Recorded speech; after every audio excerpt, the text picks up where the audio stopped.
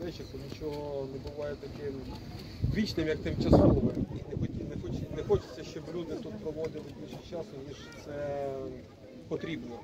Але сьогодні, поспілкувавшись із там, пані Тетяною Переселенкою з Лисичанська, я свою точку зору дещо змінив. І хочу зазначити, що обласна влада, обласна рада виділила певну суму коштів для реалізації цього проекту, і він вийшов дійсно дуже пристойно, скажімо так.